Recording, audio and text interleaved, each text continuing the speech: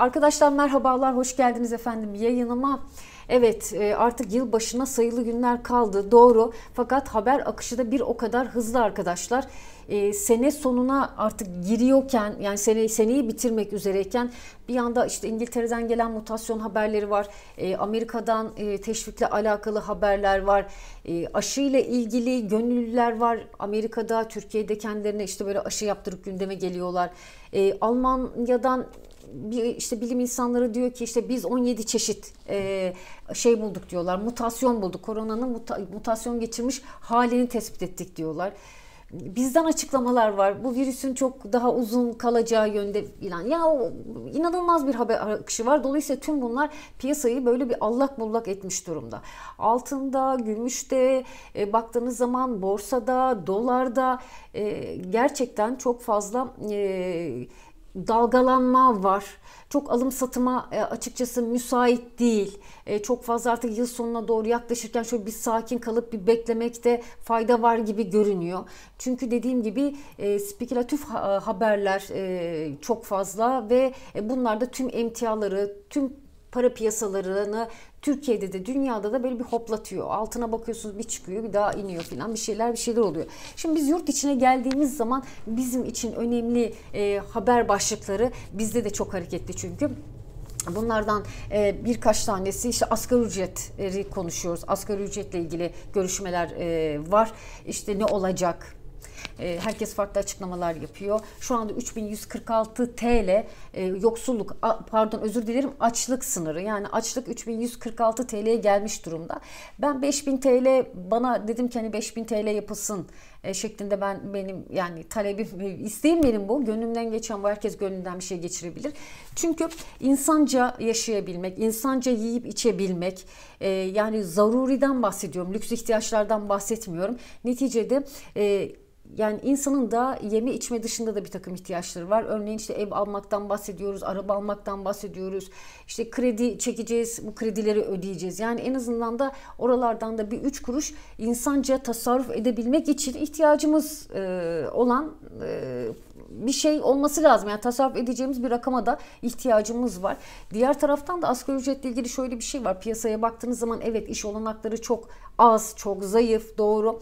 E, fakat diğer taraftan da artık böyle üniversite mezunu da olsanız ne olursanız olun, mühendis de olsanız, e, mimar da olsanız mezun olduktan sonra herkesi bir asgari ücrete bağlamış durumdayız. Yani hani ücret asgari ücrete geldi. Herkes asgari ücret yani. E, başlangıç çalışma koşulları buradan başlıyor.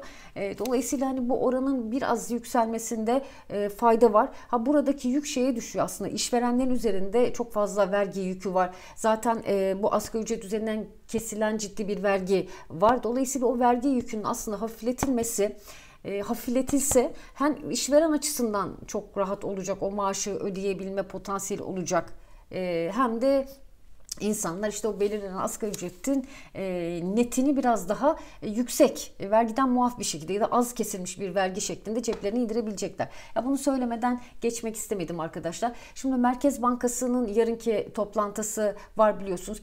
Bir faiz kesinlikle artacak gözüyle artık bakıyoruz. E, faiz oranları şu anda hani artık 1.80 ve 2'lere maliyetler yaklaşmış durumda. E, konut kredisinde, otomobil kredisinde e, hayal mi oluyor? E, alamayacak mıyız biz bu evleri? Bu tarz böyle e, bana çok soru geliyor özellikle konutla evle alakalı bekleyelim mi faizler düşer mi diye. Açıkçası faizler yükseliyor arkadaşlar yani yükseliyor. Ev almak hayal mi? Şu anda biraz böyle kredi kullanarak alacaksanız eğer biraz hayal gibi duruyor açıkçası. Ee, azıcık beklemek lazım birazcık sabırlı olmak gerekiyor ama yani faizlerin düşmesini şu anda... E, beklemeyin önümüzdeki en azından yani şu kısa bir vadede yani şu aralığı zaten bitiriyoruz. Hani Ocak hani böyle faizli yine yüksek faizli. Şubat'ta hatta öyle görünüyor. Ama hani az bir miktar çekeceğim. Ben ev almak istiyorum. Zaten evimi buldum. Fiyatı da çok uygun diyorsanız ben zaten yani piyasada doğru fiyattan ev bulunacağını hep söylüyorum. Sadece şu anda takıldığım konu bu faizlerin çok yüksek olması. Çünkü ben bir mortgage'la e, yani bizde çok mortgage işlemiyor gerçi. Mortgage kelimesini çok e, doğru bulmuyorum ben bu noktada kullanmayı. Konut kredisi konut kredisindeki faiz oranlarına baktığımız zaman hani siz bir evi buldunuz %90'a kadar kredi veriyor ama o kadar yüksek ki maliyetler. Tamam hani alın ama yani çok yüksek. Hani orada tamam %20'si %30'u kullanılabilir ileride yapılandırma olabilir şeklinde hani bir e, şey olabilir. E, bir nokta yakalanabilir ama yapılandırma konusunda da epey bir zaman bankalar yapılandırmaya sıcak bakmayacakmış gibi duruyorlar arkadaşlar. Biliyorsunuz geçmişten de deneyimlerimiz var. Dolayısıyla hani yapılandırırım ben kesin gözüyle gideyim alayım diye düşünmeyin.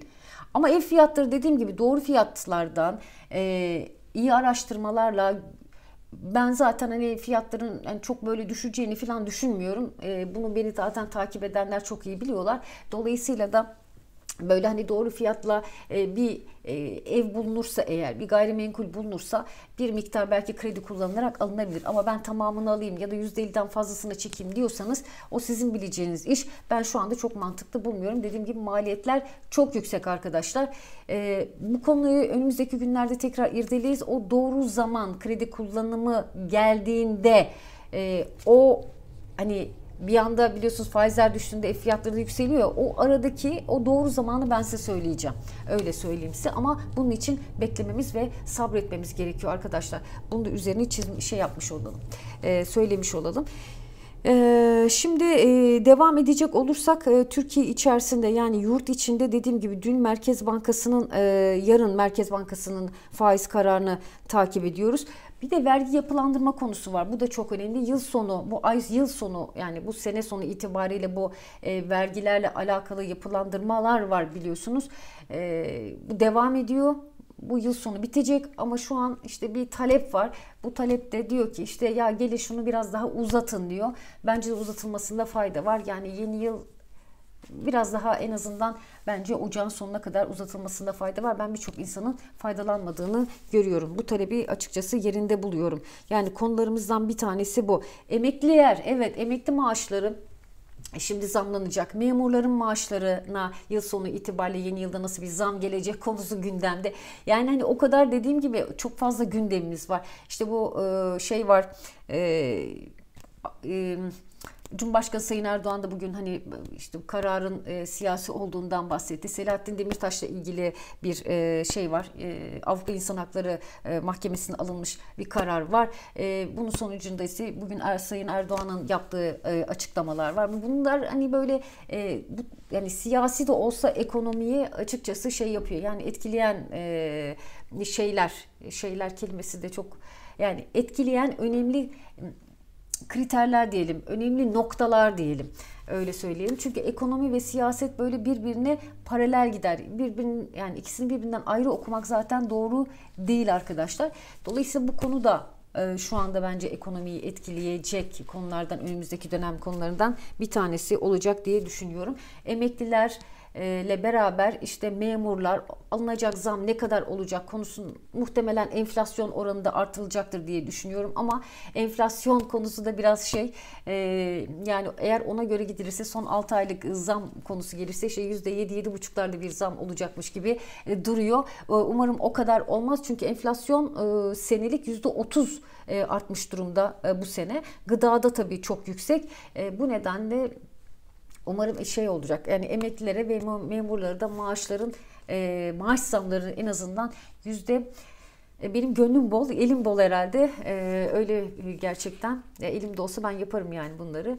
E, en azından bir yüzde 10-12 civarında bir e, en kötü ihtimalle zam yapılıyor olması e, bu bir ihtiyaç. Yani ihtiyaçtan dolayı umarım bu kadar zam verilir. Benim not aldığım şimdi yılı bitirirken e, şu anda önemli bulduğum ve üzerinde durduğum konular arkadaşlar bunlar. Özellikle bu faiz ev konusu ve bir de bu piyasalardaki çok fazla spekülatif hareketlere dikkat edilmesi e, noktasında hani bir uyarıda açıkçası bulunmak istiyorum. Bir işlem yapmaktan çok bence şöyle bir bekleyip artık hani piyasaları e, hakikaten yarınki Merkez Bankası toplantısından sonra işte bu cumadan sonra piyasaların kapandığını artık kabul etmeliyiz. Ee, yarın tekrar görüşmek üzere. Bakalım faiz kararını tekrar değerlendireceğiz. Ee, iyi bakın kendinize. Şimdilik hoşçakalın efendim.